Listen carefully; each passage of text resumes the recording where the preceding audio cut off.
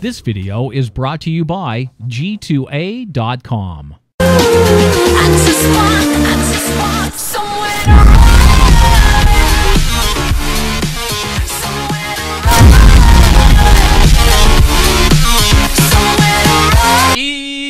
boas pessoal, daqui o Netman estamos em mais um vídeo, manos, para a continuação do nosso Pick'em Challenge de Clutch na Poca DreamHack 2015, que saiu hoje o vídeo ao meio-dia, está a sair agora este do dia 2, e em princípio amanhã irei trazer o dia 3 ao final da noite, vamos ver se vai ser possível, este está a sair agora o dia 2 ao final da noite, para quem não viu, a DreamHack eu vou tentar tipo, fazer tipo um resumo, vou tentar fazer isto da melhor forma e tentar agora fazer a pick do dia 2. É assim, estou mais ou menos contente, eh, entre aspas, eh, porque dos 8 jogos, as previsões que fiz para os 8 jogos, acertei em 6, por isso estou neste momento com 7 pontos, porque um ponto é só de participação, e não percebi muito bem o porquê mas só de participarmos já temos, já temos um ponto no início, por isso de qualquer maneira tenho 7 pontos, um ponto por jogo, ganhei 6 pontos. Nos Fnatic contra os Vexed Gaming, pessoal, não, antes de mais nada deixei o vosso mega like, não se esqueçam de deixar o vosso mega like, isso é sempre muito importante. Se quiserem comprar algum jogo, não se esqueçam que é na descrição, usem o código NVC, pronto. Agora pessoal, Fnatic Vexed Gaming, fiquei um bocado desiludido, pensei que os Fnatic não dá ganda rape e o jogo ficou 16-10. É verdade, o jogo ficou 16-10 e eu aqui na, na, equipa de sonho escolhi o Olofmeister e o Olofmeister acho que foi o pior jogador. Eu não vi o jogo, estava a dormir, mas depois cheguei aqui e vi mais ou menos tipo, os pontos, a cena toda. Mas fiquei um bocado desiludido, na minha opinião, fiquei um bocado desiludido. Porque, hum, digamos que o nosso amigo Olofmeister acho que foi o pior jogador da equipa dos Fnatic, por isso foi ganda fail ali no comando. Mas pronto, os Fnatic ganharam, isso eu tinha quase a certeza absoluta disso, uh, tendo a parte que ficou 16-10 o jogo, por isso foi um jogo. Hum, renido, no fundo, foi um jogo bastante renido. Um, e tipo, Fnatic, mas Fnatic ganharam, que é o que importa, ganhei aqui um ponto e passaram para a próxima fase. Por aí, para já tudo bem. Depois, perdi. Nos Cloud9 contra, ou melhor, nos Luminous Gaming contra os Cloud9 perdi. Está muito fiável, por acaso Cloud9 ganhámos. Cloud9 tem uma equipa espetacular, Skadoodle, tipo, para mim dos melhores ou melhor da WPNA. E, mas os LG não têm uma má equipa e acabaram por perder contra os Cloud9 por 16-11. Uh, aqui perdi, pronto, por acaso este jogo era muito 50-50. Acabei por perder. Uh, não fiquei triste a perder este jogo, também não, não, fiquei, não fiquei triste. Uh, entre aspas, pronto. Mas estes, estes, jogos não vi, mano, já estava a dormir por whatever. Depois, Team Solomid Flipside Tactics, acertei completamente, foi, foi uma coça total. O jogo ficou 16-6, por isso foi tipo uma coça, foi destruição mesmo. Team Solomid deram um bom rei, fizeram uma boa prestação, 5 estrelas. Depois, G2 Mouse Sports ficou 16-8. G2 também deram uma boa obliteração, fizeram um bom jogo. G2, próxima fase, foi mais um tio certeiro.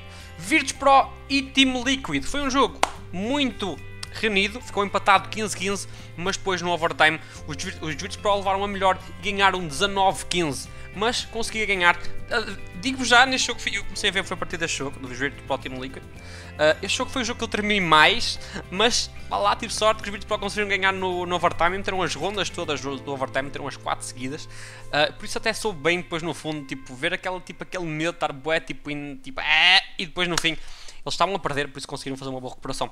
O jogo que me decepcionou foi o Snip Titan. O Snip Titan, eu estava mesmo com aquela que os Snip ganhavam, os Snip ficaram 16-13. Eles estavam a levar 13-2 no Cobblestone. Este jogo eu vi mesmo com muita atenção.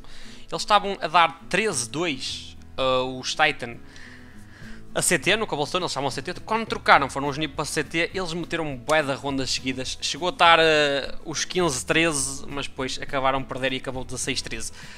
Uh, eu acho que os NIP fizeram uma prestação, basicamente o Get Right fez uma prestação bem nojenta. O Get Right, na minha opinião, não jogou nada, nada, nada. Ele estava a jogar bem mal. Foi o jogo mesmo que eu vi com atenção, o NIP é a minha equipa preferida. Então estou a acompanhar, é, provavelmente os jogos. Se calhar amanhã não tanto, que dá mais cedo, porque eu devo estar a dormir, mas eu tento acompanhar sempre aqueles, aquelas equipas que mais gosto, por menor as outras, tipo. Eu tento ver os jogos todos, mas pessoal, gravar e depois também não estou cá é sempre um bocado complicado. Pronto. Depois, NVS Dignitas. Mas que eu estava a dizer, pronto, NIP, esse jogo, pá, fiquei um bocado arrependido. Jogaram melhor, por isso também no fundo mereceram ganhar. Uh, NVS Dignitas. NVS destruíram os Dignitas, novamente. Começaram a perder, mas lá foram dar aquela. aquela ficou, o jogo ficou 16-6. Foi um jogo muito. Um jogo muito bom para, para, para os NVS. O nosso maravilhoso Cobblestone. Espero bem aqui na parte uh, da equipa de sonho conseguir aqui alguns pontos, tanto com o Epic quanto backup e KNS. O KNS não matou assim muito de op a WP não matou assim muito, mas o Epi foi o melhor jogador da equipa, por isso, na minha opinião, acho que se calhar conseguir aqui alguns pontos no Echo Warrior. E acho que aqui no fundo vamos conseguir aqui uns bons pontos uh, aqui nestes três, nestes três amigos. Depois, continuando.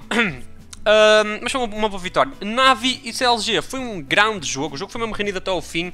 Ah, eu não me lembro aqui ao certo, porque o jogo acabou-me agora e isto não está atualizado, mas ficou 16-14, acho eu. Ficou 16-14 ou 16-13. Foi um jogo renido até ao fim. Foi um grande jogo. Navi CLG foi um jogo muito bom mesmo. Um jogo muito bom.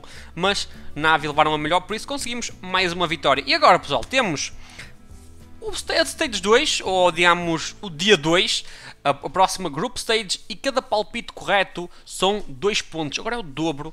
Eu quero mesmo ah, ao máximo, até porque as, as classificações devem ter aqui algum amigo. Ok, estou em sétimo na minha lista, not bad at. Está toda a gente com 7 pontos na minha lista, espetáculo. Boa gente com menos. Mas estou a ver aqui na minha lista de amigos e está boa gente com 7.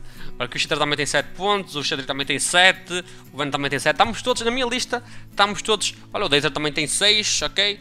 6, Mr. M. E aqui o resto também do pessoal que eu tenho por aqui, se tivesse aqui mais algum. Olha, está aqui o. O Rui. O Anónimo também está com 7, ok. Tem aqui mais alguns subs por aqui, pessoal. Estava aqui a ver tipo, as vossas classificações. Estamos todos com 7 pontos, estamos todos com os palpites lá próximo, mas por isso. E a classificação global 9%. Boa, a gente fez 7, supostamente, mas é. Yeah. ok.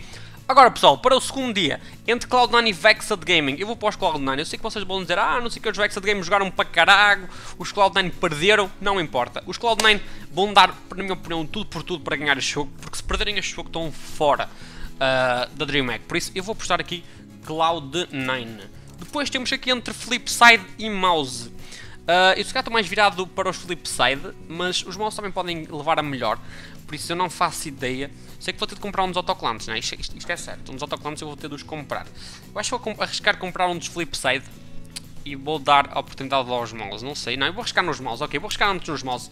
Não, Flipside, ok, vamos, vamos, vamos comprar um, um autocolante dos Flipside, eu vou arriscar Flipside, sei que se calhar muita gente vai dizer, ah, os mouse jogaram melhor, eu vou arriscar nos Flipside, não sei porquê, mas eu vou arriscar nos Flipside, estou confiando nos Flipside, vou conseguir dar o melhor, ok. Arrisquei Flipside aqui, em Flipside mouse, arrisquei Flipside, Nip Team Liquid, mesmo que eu tivesse autocolante dos Team Liquid, eu vou arriscar nos NIP. Eu sei que os NIP não querem perder isto, sei que os NIP querem ir aos quartos de final. Eu e sempre nos NIP também sejam contra, contra a equipa for. Por isso, eu vou arriscar NIP. Eu sei que eles, o Gatorade jogou muito a mal, mas eu acredito que ele agora irá fazer uma melhor prestação agora contra os Liquid. Eles não querem perder, certeza que os Liquid também não querem perder, mas os NIP são melhores. Eu confio nos NIP. Depois, CLG Dignitas. Eu vou para os CLG. Os CLG fizeram uma prestação incrível contra os Navi. Eles também têm uma boa equipa, como é óbvio. Os Dignitas, pá, não jogaram assim tão bem como os, como os CLG. Atenção, os Dignitas são bons, mas os CLG jogaram, na minha opinião, fizeram uma melhor prestação que os Dignitas, por isso eu vou para CLG. Fnatic Luminosity, vou para Fnatic. Eu acho que os Fnatic, mesmo os Luminosity, atenção, eles são muito bons.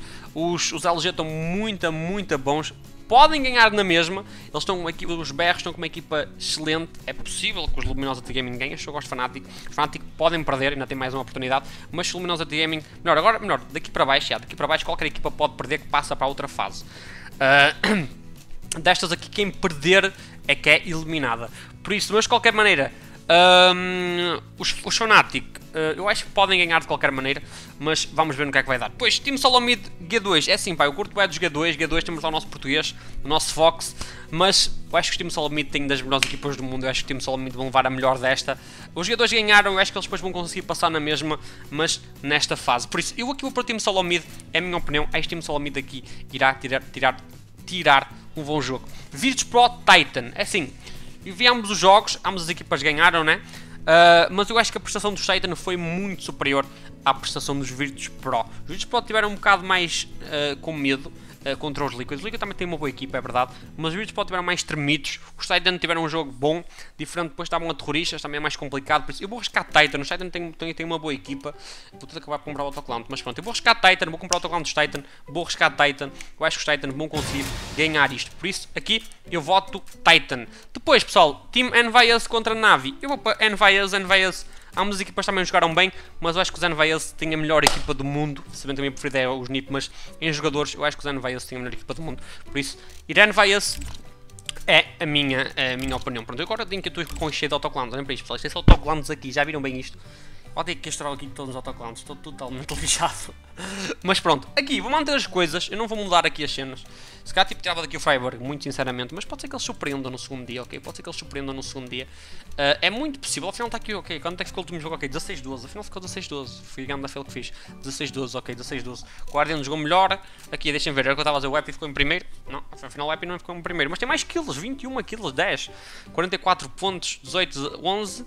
18, 11, 21, 11. O Epi foi, ficou com o melhor, só teve duas 10 mortes, ficou no fundo com o melhor. Por isso o Epi acho que foi ali uma boa escolha. O NBK tem 18, espero que tenha, tenha, tenha dado umas boas entry frags. Era o que eu estava a dizer aqui, o Olaf Meister aqui foi que ficou pior, ficou em último só com 12 kills. Aqui ficou com score neutros, quase nem dá pontos nenhum, mas pronto. Foi o Flecha que jogou melhor, devia ter apostado no Flecha. Isso devia ter ido no Flecha. E aqui no Snip, o Freiburg também ficou no fim se calhar devia ter pondo antes Get Right, mas ambos jogaram um bocado melhor. Francamente, não, não, vale a pena. Pessoal, então esta é a minha, a minha, a minhas escolhas 2, digam nos comentários o que é que vocês acham, Cloud9 vai ser do game Cloud9, Flipside Mouse, Flipside Nip, Liquid Nip, CLG Dignitas, CLG Fanatic Luminosity, Fanatic, Solomid G2, Solomid, Virtus Pro Titan, Titan e Envias e Navi and Vias. Digam o que é que vocês acharem amanhã. O que é que vocês acham amanhã? A princípio temos o resto da Group Stage. Pessoal, dê o vosso mega like, conto com o vosso grande apoio. Não se esqueçam, pá, vejam a stream e tentem que a vossa sorte. Pessoal, fiquem bem, vejo-vos no próximo vídeo. Fui!